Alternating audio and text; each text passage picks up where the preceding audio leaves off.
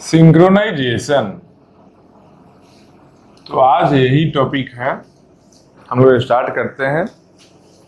देखते हैं कहाँ तक कंप्लीट होता है। क्योंकि पर्पस कंप्लीट करना नहीं है।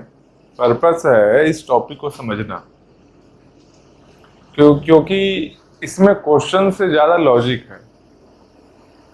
बहुत सारा क्वेश्चन क्रिएट हो सकता है।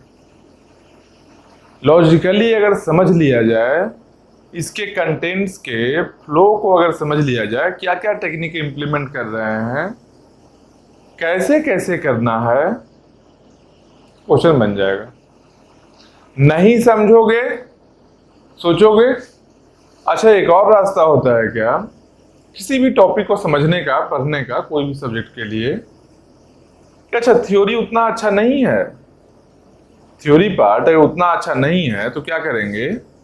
क्वेश्चन लेंगे। बहुत सारे क्वेश्चन को, बहुत सारे क्वेश्चन को प्रैक्टिस करेंगे। इससे क्या होगा?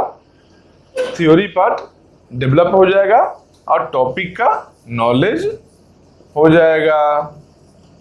ऐसा कुछ नहीं इंप्लीमेंट करना है यहाँ पर। क्योंकि अगर चाहोगे क्वेश्चन बनाकर थ्योरी को समझ लें, ये बहुत ज़्यादा मुश्किल है। हाँ थ्योरी को समझकर क्वेश्चन बना सकते हो। वो आसान है।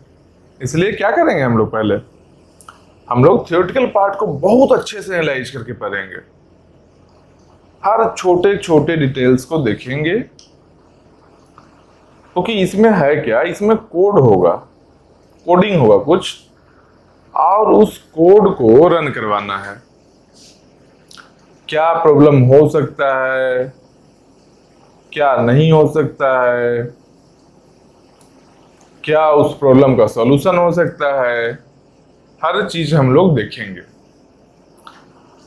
तो पहली बात तो जानो सिंक्रोनाइजेशन पिछले क्लास में एक रफ स्केच एक बता रहे थे। अभी जो बताएँगे एग्जैक्टली प्रॉपरली मतलब है सिंक्रोनाइजेशन टॉपिक स्टार्ट हो गया। लास्ट क्लास में को ओवरव्यू हम ऐसे ही बताए थे। कुछ समझो कि सिंक्रोनाइजेशन है क्या? थोड़ा सा समझ में आया होगा।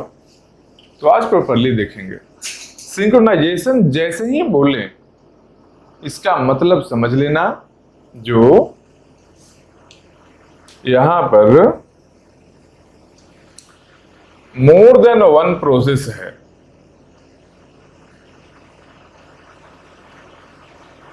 More than one process exist कर रहा है। क्यों? क्योंकि एक ही प्रोसेस है तो एक प्रोसेस में क्या है? एक प्रोसेस सीधा ही रन कर जाएगा। कोई प्रॉब्लम नहीं है ज़्यादा। एक से ज़्यादा होने में जब एक से ज़्यादा प्रोसेस सिस्टम में रन करेगा, तब कुछ प्रॉब्लम का चांस बनता है कि शायद वो दोनों के एग्जीक्यूशन फ्लो में कुछ रास्ते में ही प्रॉब्लम आ जाए कि एग्जीक्यूशन कंप्लीट ना हो पाए। अगर कंप्लीट हो गया तो कुछ जो रिक्वायर्ड हम लोग को आउटपुट चाहिए था रिक्वायर्ड आउटपुट नहीं आए। एक क्या प्रॉब्लम हो सकता है? कि एग्जीक्यूशन कंप्लीट ही नहीं होगा। बीच में ही रुक जाए आपस में। एक और प्रॉब्लम ए मान लो फ़र्स्ट टाइप ऑफ़ प्रॉब्लम हुआ। एक और प्रॉब्लम क्या आ सकता है? कंप्लीट हो गया, लेकिन जो आउटपुट चाहिए था हम लोग को, वो आउटपुट नहीं मिला। मेनली दो तरह का प्रॉब्लम है। क्यों? क्योंकि कुछ कोड को रन करवा रहे हैं तो हम लोग क्या सोच रन करवाए हैं? कुछ पार्टिकुलर वर्क उस कोड के हेल्प से करवाना चाहते हैं हम लोग। एक पर्पस है ना हम लोग का। तो एक कोड को जब रन करवाएँगे तो देखेंगे कि प्रॉपरली रन भी करे कंप्लीशन भी हो, उसका एग्जीक्यूशन कंप्लीट भी हो, और जो आउटपुट चाहिए, हम लोग को वो आउटपुट भी मिले। तो अब क्या है, एक से ज़्यादा प्रोसेस होगा, तभी ये प्रॉब्लम राइज होगा। तो मतलब दो प्रोसेस मिनिमम चाहिए। दो प्रोसेस के बीच में क्या क्या रिलेशन हो सकता है, सोचो। दो प्रोसेस के बीच में क्या क्या रिलेशन हो सकता है? दो प्रोसेस के बीच में रिलेशन ये होगा कि मान लो एक प्रोसेस जो है, एक रिलेशन जो है दोनों प्रोसेस के बीच का, वो क्या हो? जो दोनों ही इंडिपेंडेंट प्रोसेस हो? इंडिपेंडेंट दोनों ही इंडिपेंडेंट हो प्रोसेस एक ये हो सकता है, एक और क्या हो सकता है, जो दोनों प्रोसेस कोऑपरेटिव हो।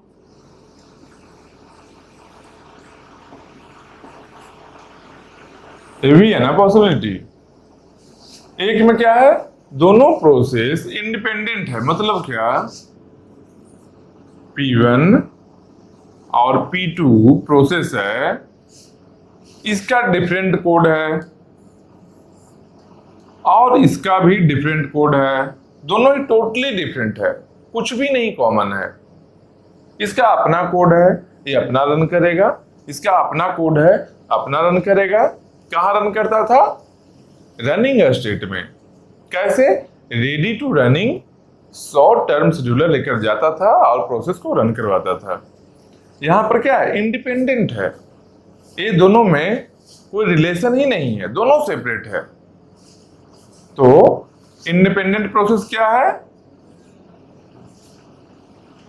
पैरेलली रन कर सकता है।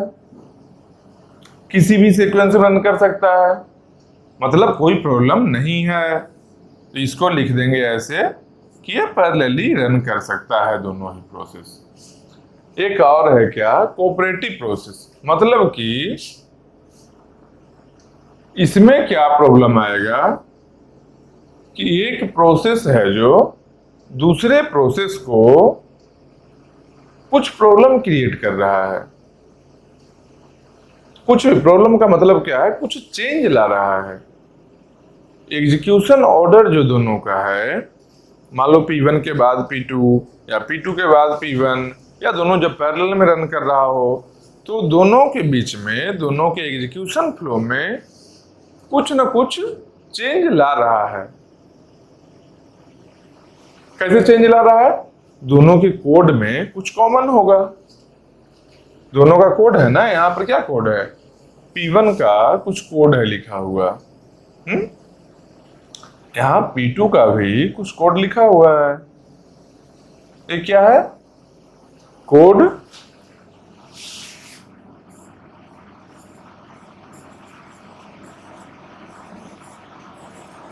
टोटली डिफरेंट क्या? ये जो कोड है टोटली डिफरेंट है। इसमें कुछ भी कॉमन नहीं है। तो क्या हुआ? इंडिपेंडेंट है। ये दोनों एक दूसरे को इफ़ेक्ट नहीं कर रहा है। कोऑपरेटिव में क्या है? एक P1 है प्रोसेस एक P2 प्रोसेस है। P1 है जो या तो P2 को इफ़ेक्ट कर रहा है, या P2 है, या तो P1 है जो P2 से इफ़ेक्ट हो रहा है। मतलब कि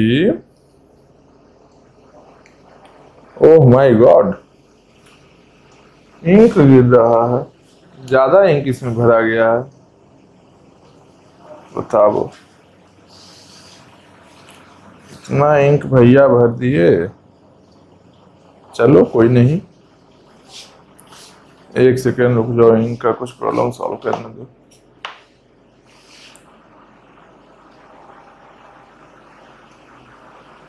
कौन भैया बह रहे हैं इतना इंक? जो ओवरफ्लो हो रहा है।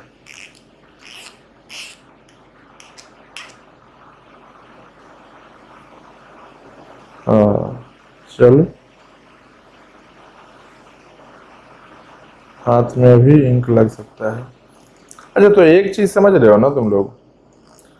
जो दोनों प्रोसेस है, उसके बीच में अगर कुछ भी कॉमन नहीं होगा मतलब दोनों सेपरेटली रन कर सकता है अपने अपने टाइम में। एक दूसरे को इफ़ेक्ट नहीं करेगा। हम्म? और अगर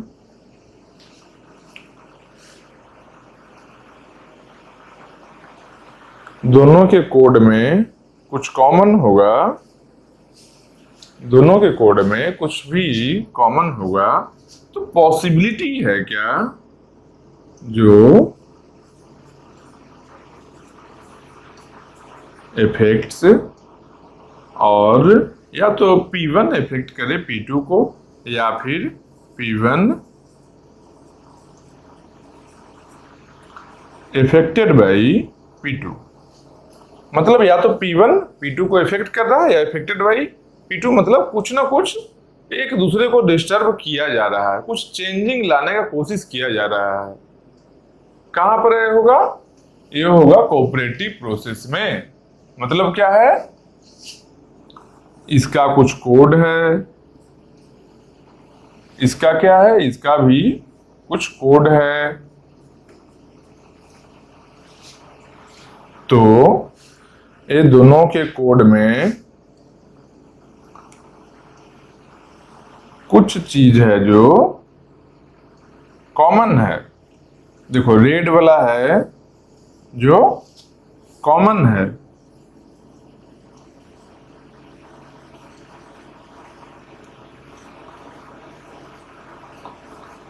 कॉमन पार्ट या कॉमन कोड जो भी है, इसको क्या बोलते हैं? इसको बोलते हैं क्रिटिकल सेक्शन इसको क्या बोलते हैं? क्रिटिकल सेक्शन जिस पार्ट में कॉमन कोड एग्जिस्ट कर रहा है, दो प्रोसेस के बीच का कॉमन कोड जिस पार्ट में एग्जिस्ट कर रहा है, उस पार्ट को क्रिटिकल सेक्शन बोलते हैं। इसका डेफिनेशन क्या हुआ इसका मतलब? Critical section is that part of code where common variables exist जहाँ एग्जिस्ट कर रहा है कॉमन वेरिएबल तो जब जब कुछ कॉमन कोड होगा, तब एक चांसेस है क्या कि या तो इफ़ेक्ट करेगा एक प्रोसेस दूसरे को या फिर दूसरे प्रोसेस से इफेक्टेड होगा। तो जब इफेक्टेड होगा, इसके आउटपुट को सही आउटपुट लाने के लिए क्या करना हम लोग को? यहाँ पर ही हम लोग को सिंक्रोनाइजेशन करना है। यहाँ पर क्या करना है? Synchronisation to get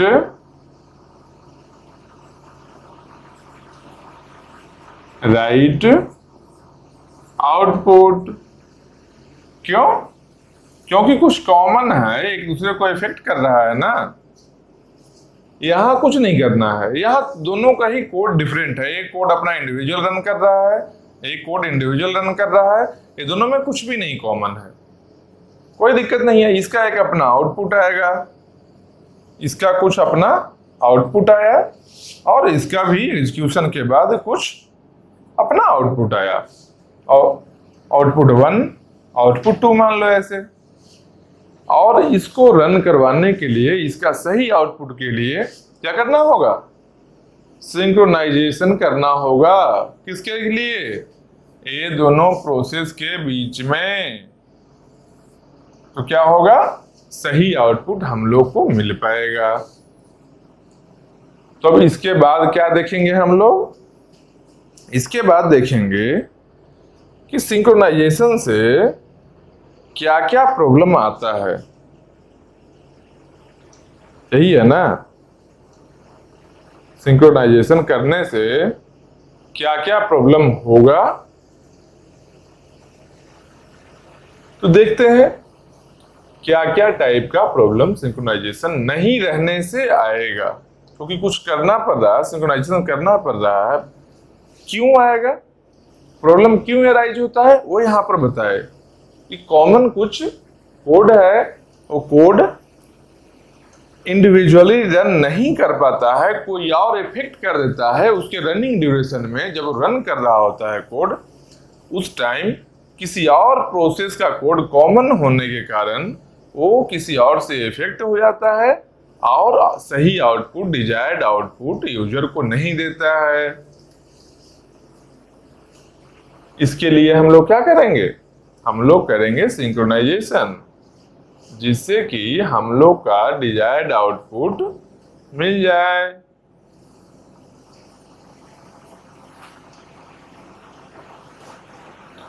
तो अभी क्या देखेंगे? अभी देखते हैं। बहुत अच्छे से पढ़ेंगे। छोटा छोटा डिटेल्स बेसिक से हर चीज़ को पढ़ेंगे। एक एक वर्ड एक एक सेंटेंस को समझ लेना। कभी नहीं दिक्कत हुआ सिंक्रोनाइजेशन में। और इससे क्वेश्चन भी आता है। कोई भी एग्ज़ाम रहे अच्छा एग्ज़ाम है, एक क्वेश्चन इससे देगा। क्यों? ये समझने का चीज़ है, थोड़ा लॉजिकल चीज़ है। तो एग्ज़ाम क्या, क्यों होता है? टेस्ट करने के लिए होता है, कितना पढ़ा गया है? टेस्ट इससे होगा ना लॉजिकली कितना स्ट्रांग है सामने का पर्सन क्या कुछ सोच है, क्या प्रैक्टिकली क्या था उठे सब्जेक्ट के बारे में? कितना समझ पाता है? कुछ नया सोच सकता है कि नहीं? तो यहाँ पर क्या आया? सबसे पहला चीज़ हम लोग क्या देखेंगे? सबसे पहला चीज़ देखेंगे क्या?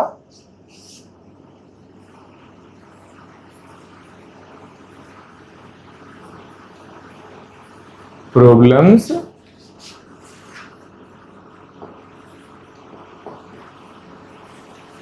arising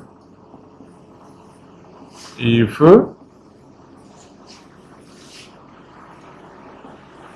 not having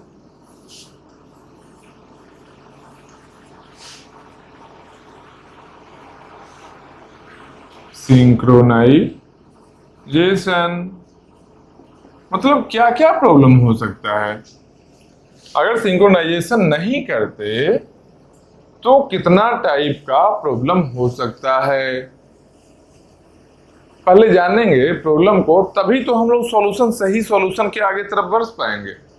जब तक प्रॉब्लम नहीं पता होगा, जब तक नहीं पता होगा कि क्या क्या प्रॉब्लम आ सकता है, तब तक सिंक्रोनाइजेशन करके कैसे सॉल्यूशन निकाल सकते हैं? तो प्रॉब्लम पता होना चाहिए, जो क्या क्या प्रॉब्लम राइज हो रहा है सिंक्रोनाइजेशन नहीं रहने के कारण दूसरी चीज़ क्या जानेंगे दूसरी चीज़ जानेंगे जो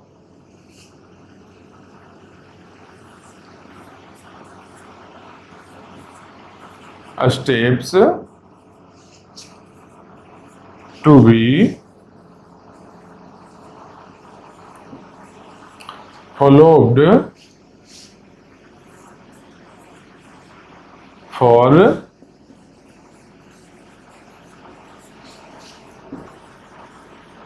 implementing synchronization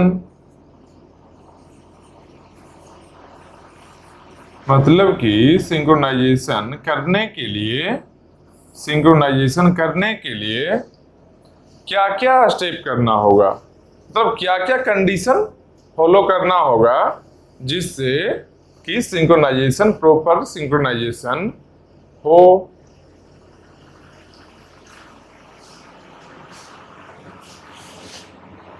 तो ये भी पता होना चाहिए ना कि अब कुछ प्रॉब्लम का सॉल्यूशन कर रहे हैं हम लोग। कुछ मान लो सॉल्यूशन हम लोग कर रहे हैं, किसी प्रॉब्लम का सॉल्यूशन दे रहे हैं। पता ही नहीं है कि सॉल्यूशन में करना क्या क्या है। यहाँ देखो सीक्वेंस में देख रहे हैं सब क्या? सबसे पहला चीज़ देखिए, क्या प्रॉब्लम है? सिंक्रोनाइजेशन नहीं रहने से क्या प्रॉब्लम है? सबसे पहले प्रॉब्लम को देखिए, उसके बाद सिंक्रोनाइजेशन करने के लिए, ये दो प्रोसेस के बीच में इंप्लीमेंट करने के लिए सिंक्रोनाइजेशन करने के लिए क्या क्या स्टेप फॉलो करेंगे? क्या क्या कंडीशंस ज़रूरी है? यहाँ कंडीशंस में लिख सकते हो। ऐसे करके लिखो।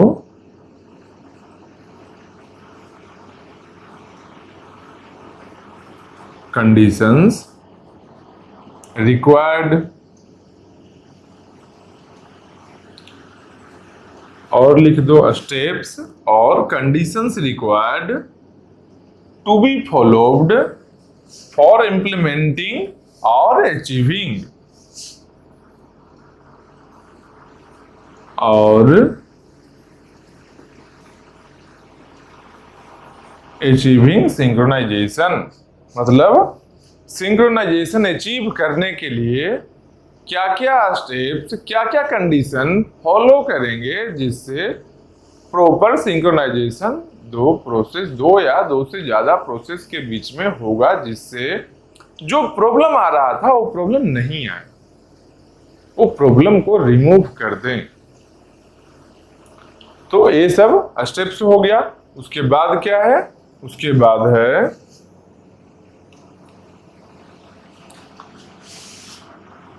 सॉल्यूशंस मतलब कि क्या क्या सॉल्यूशन है? सिंक्रोनाइजेशन के लिए क्या क्या स्टेप है? क्या क्या कंडीशन रिक्वायर्ड है? तो जान लिए। अब सॉल्यूशन क्या क्या है? वो सब स्टेप करने के लिए वो सब स्टेप कैसे करेंगे? वो सब स्टेप को वो सब कंडीशन को सेटिस्फाई करने के लिए, उस कंडीशन को फुलफिल करने के लिए जो सब कंडीशन रिक्वायर्ड है सिंक्रोनाइजेशन को अचीव करने के लिए तो ये सब कंडीशन को इंप्लीमेंट कैसे करेंगे? एक प्रोसेस में इंप्लीमेंट करेंगे, ये सब कंडीशन को, ये सब कंडीशन को जब इंप्लीमेंट करेंगे, उसी को सॉल्यूशन बोलते हैं। मतलब कि सॉल्यूशन है वो। तो सॉल्यूशन कितना तरह का है क्या क्या सॉल्यूशन है? इसमें क्या होगा?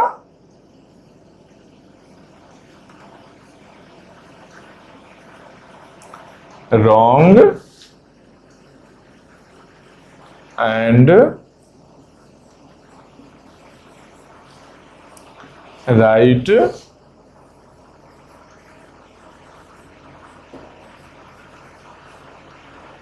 wrong and right solutions मतलब कि कुछ सॉल्यूशन जो आया है, वो सही है और कुछ गलत भी है। तो हम लोग क्या क्या पता होना चाहिए?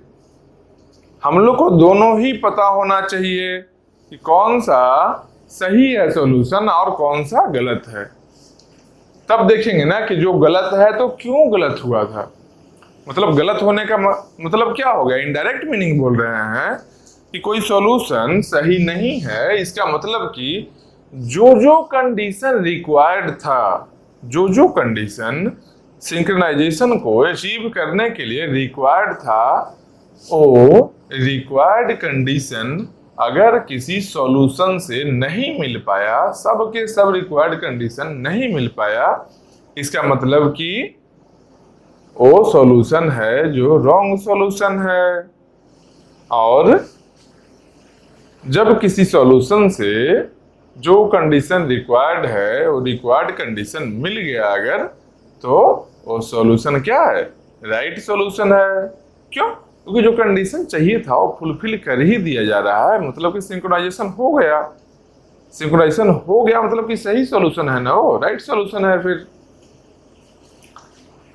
तो मेनली ये तीन तरह के चीज़ को हम लोग पढ़ेंगे। तो क्या क्या प्रॉब्लम आ सकता है? क्या क्या प्रॉब्लम आ सकता है? सिंक्रोनाइजेशन नहीं रहने से सबसे पहले फ़र्स्ट वाले पार्ट को देखते हैं। आप ऐसा ऐसा नहीं सोचो। ये जो तीन स्टेटमेंट है, नहीं। ये तीन स्टेटमेंट में पूरा सिंक्रोनाइजेशन टॉपिक है। तीन ही स्टेटमेंट में। तो क्या करेंगे? इस एक स्टेटमेंट को कितना देर बताएँगे? इस एक लाइन को चार घंटा बताएँगे। फिर इस इस एक लाइन को चार घंटा बताएँगे। फिर इस एक लाइन को चार घंटा बताएँगे। बताओ कैमरा वाले भैया को हाफ़ ही आ रहा है अभी से। कि तीन लाइन को जब बारह घंटा बताएँगे तो बाकी सब लाइन का क्या होगा?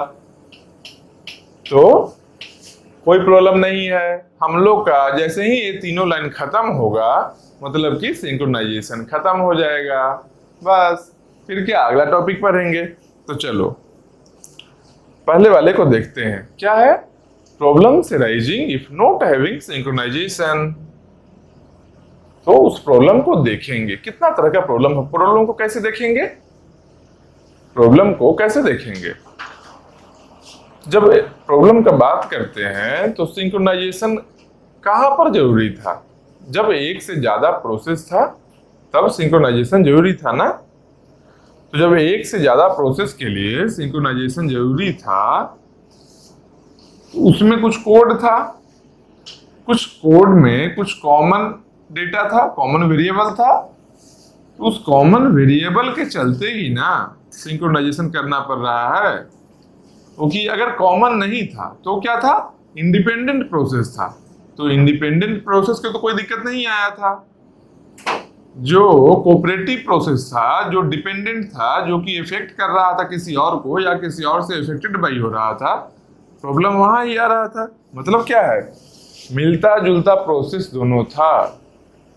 दोनों कुछ ऐसा काम कर रहा था कि वो दोनों कहीं ना कहीं कोलाइड कर रहा है, किसी जगह पर मिल रहा है कि एक ऐसा काम है, मान लो, एक बहुत सारा एक काम कर रहा है, उसको अगर सब एटॉमिक पार्ट में उसके काम को डिवाइड कर दिया जाए, उसमें एक सब एटॉमिक पार्ट मिनिमम दूसरे वाले के एक सब एटॉमिक पार्ट से कॉमन मिल जा रहा था।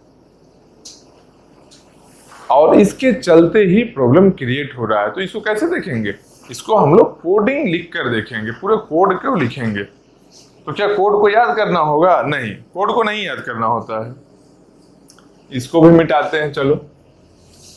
हम लोग को स्पेस चाहिए पूरा बोर्ड का। कोड को याद नहीं करना है। एग्ज़ाम्पल बता रहे हैं। इस कोड को याद नहीं करना, समझना है कि कोड में कैसे कैसे फ्लो चलेगा, ताकि इसके जैसा बाद में कभी कोई कोड दे दिया जाए और पूछा जाए कि इसमें क्या प्रॉब्लम है। तो उस कोड को हम लोग रन करवा सकते हैं उस टाइम। पहले से कोड रन करवाया हुआ रहेगा, तभी ना करवाएँगे। इसलिए इसमें कोई ऐसा नहीं है कि टू प्लस टू फोर भी नहीं करेंगे। पहले क्या कर रहे थे? शेड्यूलिंग में क्या किए थे? टू, थ्री, फोर, फाइव, कुछ नंबर आ रहा था। यहाँ पर नंबर भी नहीं आना है। यहाँ पर बस केवल लॉजिकल कनेक्शन होगा। कि कैसे कैसे उस कोड के कोड को जब रन करवा रहे हैं तो उसका फ्लो कैसे कैसे चल रहा है। तो कुछ तरह का है। पहले कोड लिखते हैं। ब्लू पेन से लिखते हैं कोड तो कोड हमको भी नहीं याद है। कोड याद करना भी नहीं है। कोड जिस दिन याद करना शुरू कर दिए, समझ लो कि सिंक्रोनाइजेशन नहीं समझ में आया और नहीं बनेगा। हाँ बार बार पढ़ाते पढ़ाते हमको याद हो जाए, वो अलग चीज़ है। या किसी फैकल्टी को याद है, बहुत टाइम्स पढ़ाने के बाद वो अलग चीज़ है। लेकिन कोई कोड को याद कर ले रहा है, वो गलत है। याद करना नहीं याद हो जाना, बता, किसी को बताते बताते बार बार वो याद हो सकता है।